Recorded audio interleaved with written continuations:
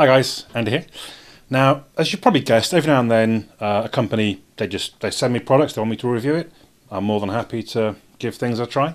Um, but I was contacted recently about a plant sensor, a Wi-Fi plant sensor.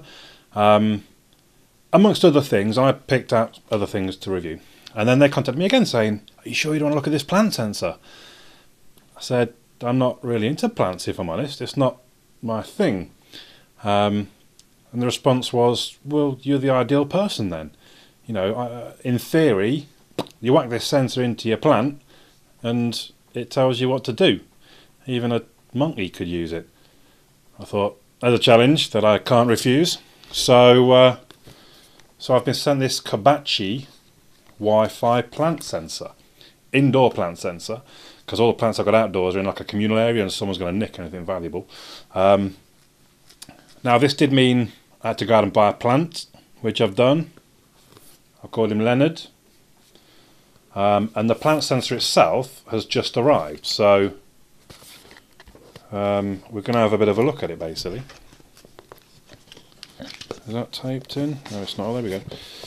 So the idea being, as I think I mentioned, you stick the plant sensor into the plant, and there, there is the actual plant sensor little lock and unlock. I presume that's where you can put batteries in. I need a coin to do that. Um, you stick it in the plant, you install the app on your phone, and in theory it tells us what to do. So just double check. We've got a manual in the in the box. I'll have a or maybe yeah, I'll have a little read. I suppose I should do really. Um, so we've got batteries in the box.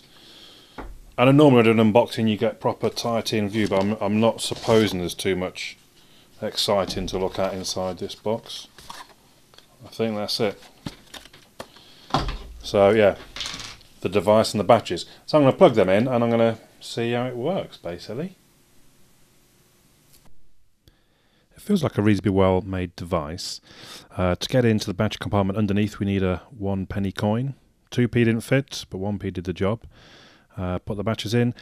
Be careful, the batteries actually go point in the same direction. I had to double check myself here because um, normally, obviously, one lays one way and one lays the other, but they go both go in the same direction. But in it goes, and we secure the back, and we're pretty much good to go as far as the device is concerned. Now, here's my uh, lovely assistant. A couple of dead leaves in there at this point, but hopefully I'll be able to nurse it back to health with my new device. I found the pairing of the device actually quite frustrating. The documentation on their website says just install the app on your phone and off you go. It tells you what to do, but it doesn't tell you what to do. Um, you look through all the settings, you can't find anything. It was only after about an hour, hour and a quarter, and I've been searching the internet, I've been checking their website, and could not see how you do it. You have to add the plant first. So here we are. I've searched out my plant. They've got quite a big database of plants. Um, so hopefully whatever you have, it should fit. There's actually a lot of information just on this plant and where it's from and well, how it should be looked after. Um, and even when you add it to your your own sort of garden, so to speak, you get to choose what type of pot is it and what colour the pot is. So obviously you try and match it. They didn't really have one that matched the cream colour that I had, unfortunately, but that'll do for now. My plant shall be called Leonard. I don't know why, but why not? Um, you tell it obviously it's an indoor plant and you get to say the location. So in this case, it's in the living room.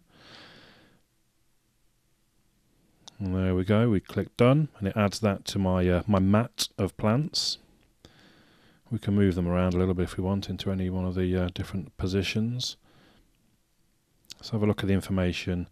In fact, so this is where we configure the plant sensor. So this is what I've been looking for. Now, why this wasn't in the settings, I don't quite know, or why doesn't pop up a message saying, add a plant, then you can configure your sensor.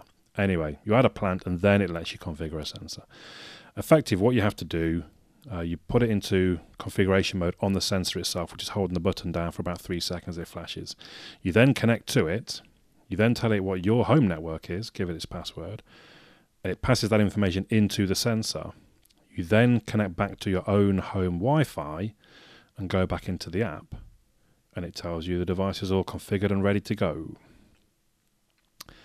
Straight away, you get some information like how much water or moisture is in the soil, how much light is hitting the sensor, um, and the temperature, sorry, uh, above the soil and below the soil.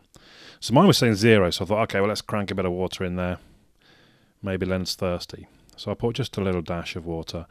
It sort of says the indoor ones aren't particularly waterproof. Um, I couldn't entirely understand if I was supposed to remove it or not when I watered it, but it seemed to cope fine. Now, the reason I had to use my iPad, I didn't explain. The Android doesn't let you configure the sensor. If you have a uh, Wi Fi laptop, you can do it using that instead, but otherwise, you're out of luck, to be honest, which is a bit of a uh, bit of an issue. When we go into the app now on my phone, it tells me does Leonard need watering? Does he need misting? Uh, it, obviously, it's still analysing some of the information. It takes a few days, like it took a day to decide about the water. It takes, oh, I forget, four or five days to decide about the light or the temperature. And then it will give me all the information. Now, even if you weren't using the sensor, there is a lot of information about this plant. What what colours it goes, how how often you mist it, how often you water it, what sort of temperatures it is, what part of the country it's uh, country, what kind of wor- parts of the world it's from. Sorry. So even if you don't use the sensor, there's actually a lot of information. Now I decided this was a few days later, but I thought, you know, I'm going to give them a misting. I've been down to B and Q because, as you'll see in a moment, I actually bought another couple of plants, uh, and I thought let's give Leonard a misting. It says he doesn't need it for another day, but then it doesn't actually know. The app doesn't know when he last got misted, which could have been never. So I misted him, and now I'm going to record in the app that I've misted him. Under my thumb there is the uh, misted. So now it changes to mist Leonard in four days. I would hope and you see above there it says it doesn't need watering. Fertilised Leonard in five months. Fine. So it was going so well. I thought, well, let's add another plant because in theory you don't need more than one device. The Wi-Fi sensor can be moved between different plants. So here's my uh, my new plant. I'm just going to tap into a spare space and I'm going to search out this new one. And there it is, look. So we're going to go straight in. Once again, I get lots of information about this plant, which I don't know if you're really into your plants, might be quite interesting to you. I'm not particularly into them. I just like to have them dotted about the flat, make the place look a bit more uh, civilized. So, yeah, loads of information. Yeah, go ahead. Let's add this plant, please. Again, I'm going to choose a colour of pot and a and a style of pot. And then we need to uh, fill out the other information. So this one I shall call Alan. So there he is, there's Alan. I'm just going to move him a little bit away from the other one. So now I need to uh, tell it the sensor is in here. So I'm going to tap, well, I'm going to put the sensor in first, sorry. Made quite a mess taking out of the other plant. All the soil seemed to have stuck to the to the shaft. Then I'm going to tap associate. You do need to make sure you just press the button. Well, actually, it tells you now press the button on the sensor, and then it basically goes, okay, okay. I've moved the sensor to the other plant. Now, I'm sure I read somewhere that it actually would detect when you when it's been moved, but uh, you may have to go in each time. I've not fully tried this. It takes, in theory, you've got to give it sort of at least five or six days when you move the sensor for it to gather all the information. Now, this particular plant was uh, was on offer. It was like three pounds, reduced from ten, because is in a bit of a bad way. So I thought, well, let's get some some baby bio and let's get some water in there and uh, see if we can bring it back to life. I'm hopefully doing some good to my carpet as well, as I seem to get just as much water on the carpet as in the plants. But uh, there's Alan, he's all watered. I, I give him a quick misting as well. So I record that. If I go back to Leonard, it basically says, oh, the sensor's not there. I can't tell you some of this information. It'll still remind me to fertilise him and to mist him, but it won't know if he's got enough water. I was on such a roll, I got myself another plant to go in my bedroom. Now, this one, I was going to leave the sensor in the uh, in the dying plant, so this one, I was literally just going to add into the application, get it in there, have it tracking the sort of misting and watering and, and stuff for me at this point. Well, misting really, I suppose.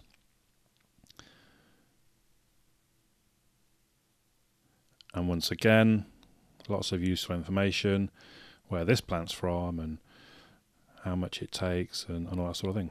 So there we go. I've now got three plants on the go with one sensor. So all in all, I'm quite enjoying the natty device. Um, £80 for the indoor one at the moment. Um, I think it's 100 and a bit for the outdoor one.